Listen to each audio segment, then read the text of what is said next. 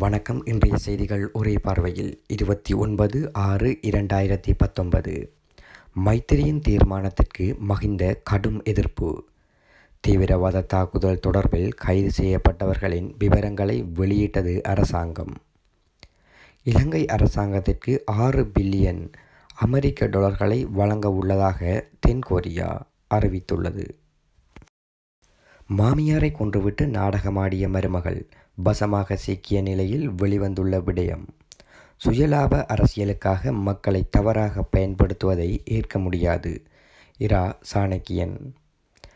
கந்தலாயில் கடையொன்றை உடைத்து கொள்ளையிட்ட இருவருக்கு நீதிமன்றம் விதித்த உத்தரவு. ரிசார்ட் பதிவுதின் தொடர்பில் இன்று வெளியான அதிமுக்கிய தகவல். மன்னாரில் இந்து மக்களுக்கு எந்தவித நல்லிணக்கமும் ஏற்படவில்லை. மட்டக்களப்பில் போலீசாரின் அடாவடி நடவடிக்கைகள். மைத்திரி பத்தொன்பதாவது திருத்தச் சட்டத்தை எதிர்ப்பதற்கு இதுதான் காரணம். காவிந்த ஜெயவர்த்தன இன்று முதல் ஒரு வார காலத்திற்கு மரண தண்டனை நிறைவேற்றப்படாது.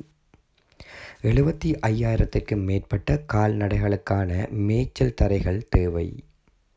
ஹெட்டன் இஸ்டதன் பகுதியில் காணாமல் போன வயோதிப பெண் சடலமாக மீட்பு.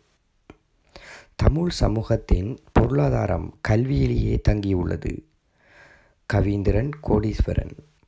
கல்முனை வடக்கு தமிழ் பிரதேச செயலகத்தை தரமுயர்த்த கோரி கதிர்காம யாத்திரை. அனுமதியற்ற தொழில்களில் ஈடுபடுபவர்கள் நாற்பத்தி ஏழு பேருக்கு எதிராக வழக்கு. வெளிநாடு செல்ல கட்டுநாயக்கா விமான நிலையம் சென்றவர் கைது. பவுனதீவு போலீசார் இருவரின் கொலை இவரின் தலைமையில் விசாரணை வெளியாகியுள்ள தகவல். வடக்கு ஆளுநர் விடுத்துள்ள விசேட அறிக்கை. சர்வதேச விமான நிலையமாக மாறும் பலாலி விமான நிலையம்.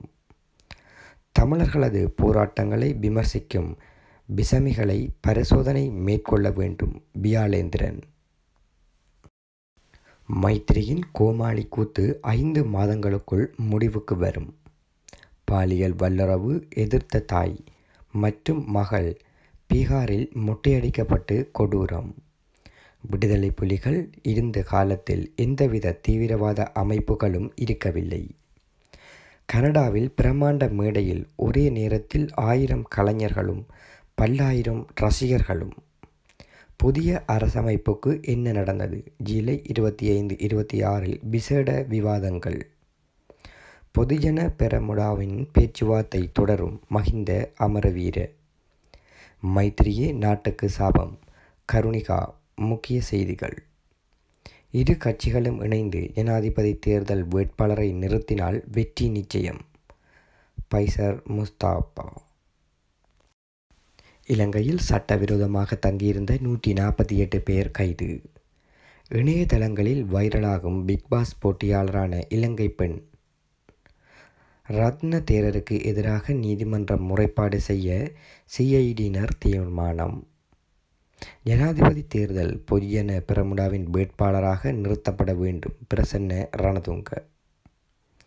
சுவிட்சர்லாந்து வாழ் தமிழ் மாணவர்களின் செயலால் மகிழ்ச்சியை அடைந்த தாயக மாணவர்கள்.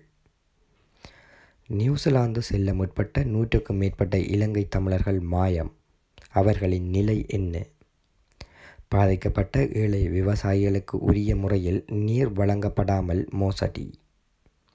மைத்திரியின் தீர்மானத்திற்கு எதிராக கொழும்பில் ஆர்ப்பாட்டம். மரண தண்டனை குறித்து ஐநா பொதுச் செயலாளருக்கு மைத்திரி விளக்கம். சிறுநீரக நோயினால் பாதிக்கப்பட்ட ஒருவர் மன உளைச்சல் காரணமாக தற்கொலை முயற்சி. யாழில் பிரசவித்த குழந்தையுடன் வீடு திரும்பிய பெண்ணுக்கு ஈர்ந்த பரிதாபம். சோகத்தில் ஆழ்த்தியுள்ள சம்பவம். நன்றி. இது போன்ற செய்திகளை ஒரே பார்வையின் கீழ் நீங்கள் கேட்பதற்கு எமது சேனலை சப்ஸ்கிரைப் பண்ணி எங்களோடு இணைந்திருங்கள். நன்றி.